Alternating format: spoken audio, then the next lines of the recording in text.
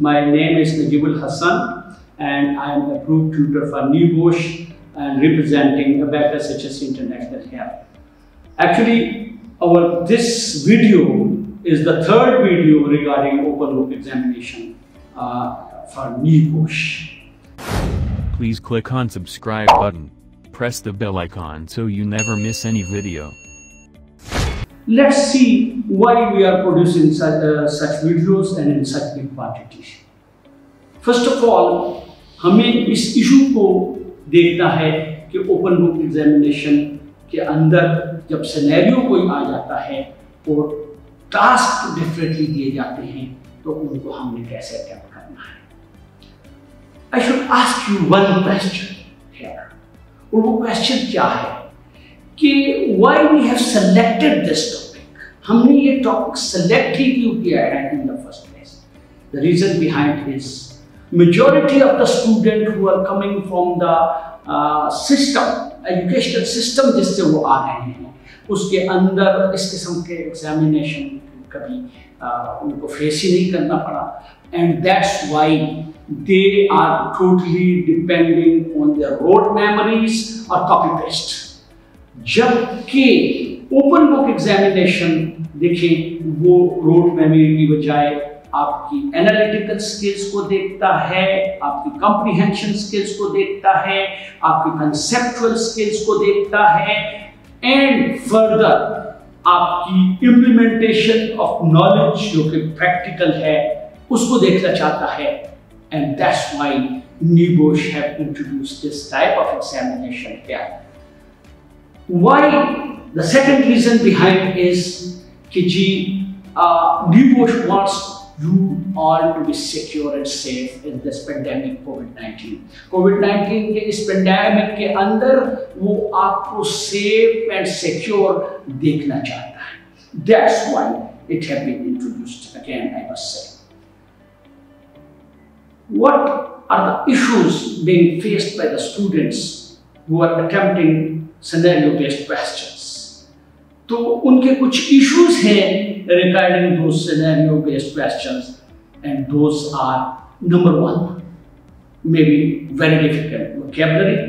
यानी जो vocabulary इस scenario के अंदर introduce करवाई गई है वो चूँकि native English लोग नहीं हैं तो उनको इसका बड़ा issue होता है कि how to interpret it, how to understand it, and then again सिर्फ़ वोकैबुलरी ही तक मखसूस नहीं है they have to face problems in understanding the scenario understanding the tasks and sometimes the construction of sentences वो इतनी डिफ़िकल्ट हो सकती है कि वो इसको अच्छे अंदाज में समझ ना सके।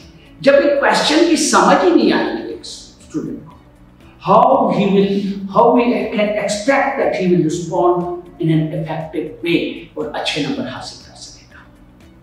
So all these are actually the challenges face by student यही वो तमाम चैलेंजेस हैं जो एक स्टूडेंट को फेस करने पड़ते हैं।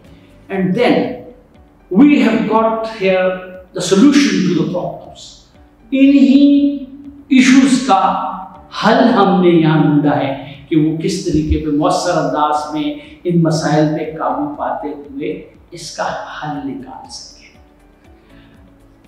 First of all whenever there is a problem, जब भी कभी मुश्किल आती है तो लोग घबरा जाते हैं, लोग परेशान हो जाते हैं।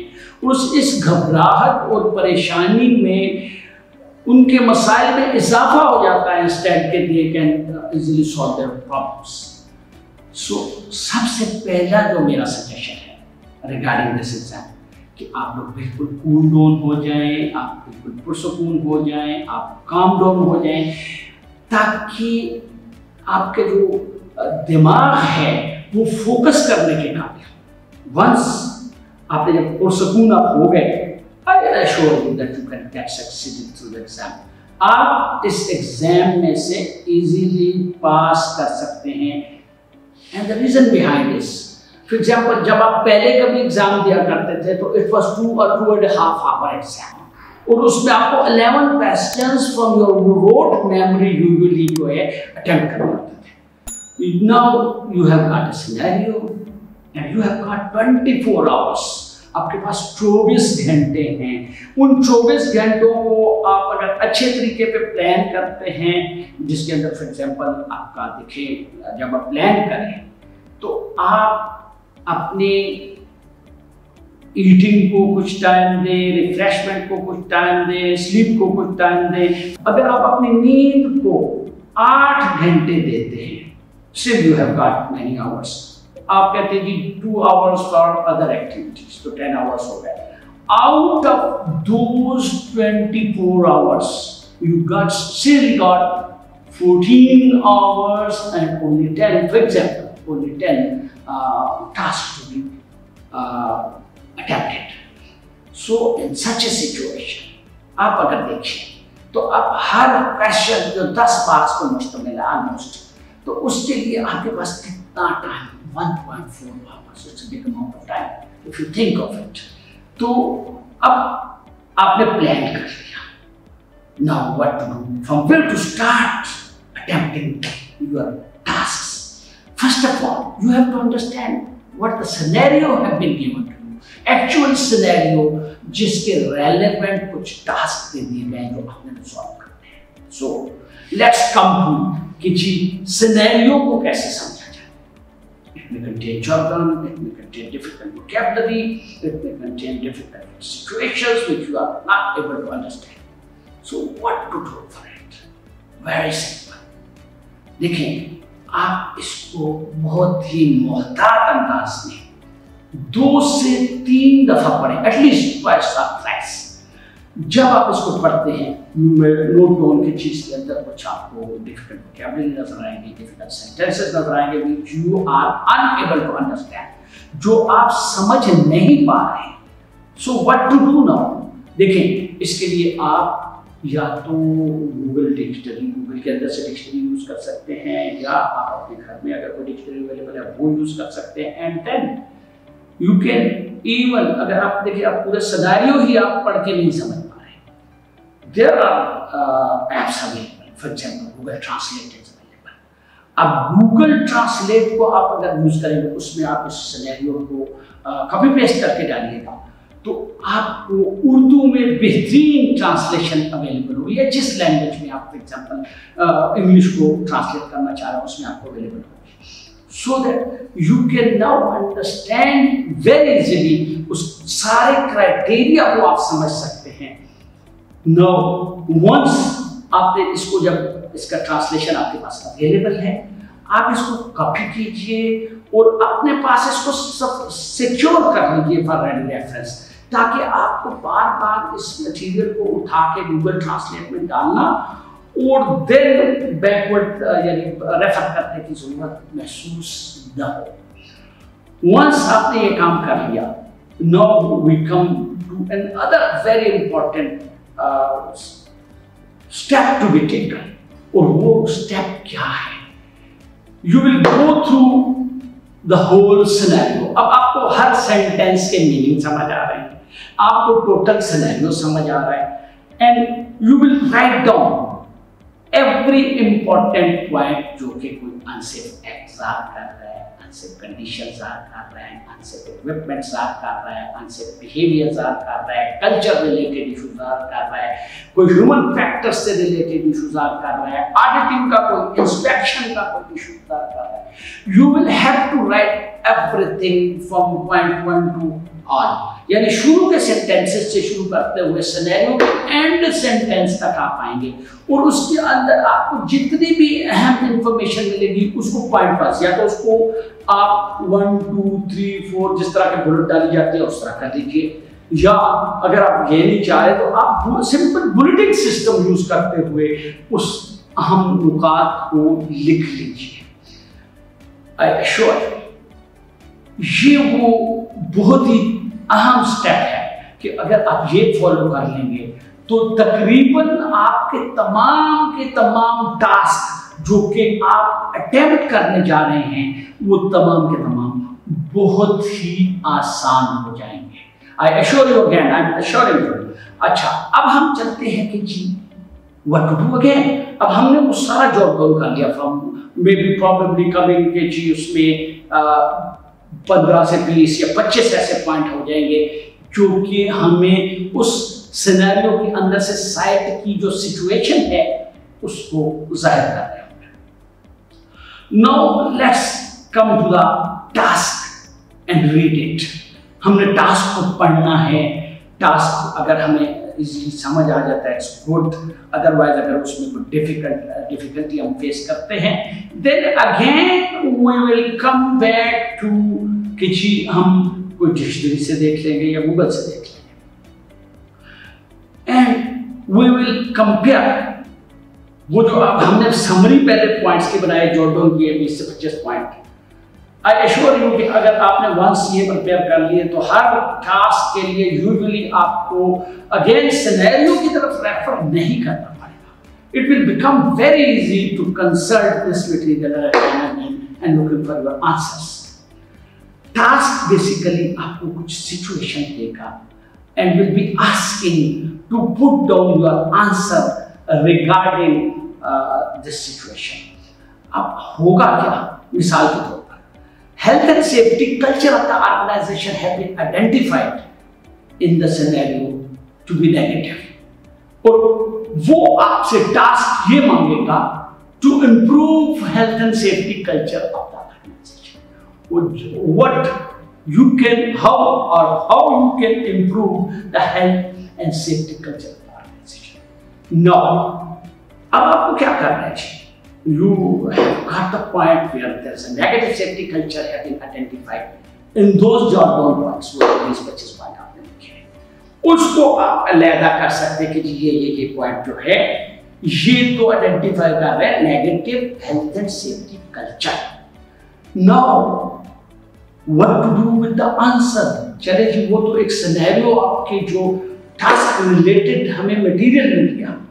But where we will look for the answer answer को ढूँढने के लिए हम relevant portion of the book पे जाएँगे।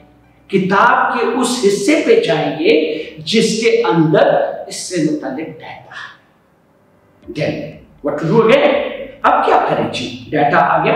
We will see the key points key points या की नोट्स को हम देखेंगे उसके अंदर। एंड वी विल सी कि ये कैसे हम अपने टास्क के अंदर इन पॉइंट्स को यूटिलाइज करते हुए एक रेलेवेंस भी क्रिएट कर सकते हैं और दूसरा, उसके ज़रिए हम मार्क्स अचीव कर सकते हैं। यूजुअली मार्क्स अवार्डिंग का जो प्रोसीजर है, वो ये है कि हर एक टेक्निकल पॉइंट के लिए, जिसको अच्छे तरीके पे बयान कर दिया जाए you will be awarded one mark इसका मतलब ये है कि अगर आपको आपके टास्क के अंदर दस क्वेश्चन दस मार्क्स आपने लेने हैं you will be required to present ten points and elaborate them in order to get ten marks लेकिन होगा ये कि आपने लेंथ ऑफ़ द मटेरियल को भी इंश्योर करना है कि वो कम से कम हो जाए। यानी वो जो उनका प्रोवाइडेड वर्ड काउंट है which is usually 300 words for a 10 marks question तो आपने उस बाउंड्रीज उन लिमिट्स का भी ख्याल देन अब अब आपने, जब आपने की पॉइंट्स भी देख लिए, आपने रेलेवेंट डाटा जो सिनेरियो के अंदर से था, उसके अंदर से इंपॉर्टेंट पॉइंट भी जॉट डाउन कर लिए। And you know how to perform the task और what the task asking from you for example अगर वो सेफ्टी कल्चर की इंप्रूवमेंट मांग रहा है, आपने सेफ्टी कल्चर के नेगेटिव पॉइंट्स का एक पैराग्राफ बना लिए शुरू में। And then now you are going to provide the key points and coordinating it, how to improve. For example, जब safety culture of the organization improve करनी हो ऑफ़ द ऑर्गेनाइजेशन इंप्रूव करना हो we have to show leadership recruitment तो leadership recruitment आनी चाहिए। We have to provide training, we have to be cooperative and we have to undergo consultations. तो ये काम हमें करने पड़ेंगे। हमें पीयर ग्रुप प्रेशर को पॉजिटिव डायरेक्शन के अंदर लेके चलना पड़ेगा। हमें ह्यूमन फैक्टर्स को अच्छे अंदाज में यूटिलाइज करना पड़ेगा अब अगर आप इन चीज़ों को देखें और इसके अंदर से आप नंबर ऑफ़ स्टेप्स देना चाहें और ये क्वेश्चन अगर दस नंबर का है तो you can easily attempt it और आप जॉब ऑन कर सकते हैं कि जी, इन इन सिचुएशंस के लिए आप कैसे इनको रिलेट करते हुए इस जवाब को अचीव करें। सो लास्टली आगे चल के हम देखते हैं कि जी, आपने उस क्वेश्चन को कंपोज करना है in order to achieve the required task यानी उसको उन मुनासिब अल्फाज उन पैराग्राफ्स में ढालना है ताकि आप अपना मकसद अचीव कर सकें after you have compose your answer जब आप अपने, अपना आंसर कंपोज कर दिया है you will have to come for a review again. अब आपको दोबारा देखना होगा ताकि आप उसके अंदर देखें कि रेलेवेंस की तो कोई प्रॉब्लम नहीं है। आप उसके अंदर देखें कि कोई ग्रामर मिस्टेक्स तो नहीं है। आप ये भी देखना चाहेंगे कोई स्पेल मिस्टेक्स तो नहीं है। आप शायद वर्ड काउंट को भी देखना चाहेंगे कहीं कहीं आपने कोई लिमिट क्रॉस तो नहीं किया। In such way you will be able to tackle this issue very effectively इसको बड़े ही मुनासिब अंदाज में आप टैकल करने के होंगे आफ्टर ऑल ऑफ़ दिस जब भी इस किस्म के ओपन बुक एग्ज़ाम होते हैं देर इज़ ए मिसकंसेप्शन एक मिसकंसेप्शन ये पाया जाता है कि such exams can be attempted without proper preparation यानी आम एक अच्छी तैयारी के बगैर आप इस किस्म के एग्ज़ाम्स में अपील हो सकते हैं। I suggest you it is not the way to think मैं ये चाहूँगा कि आपको ये बता दूँ कि ये सोच सही नहीं है। To prepare a lot. You will, you will, you will have to prepare beforehand ताकि आप मौसर अंदाज में इस एग्ज़ाम में प्रिपेयर हो सके।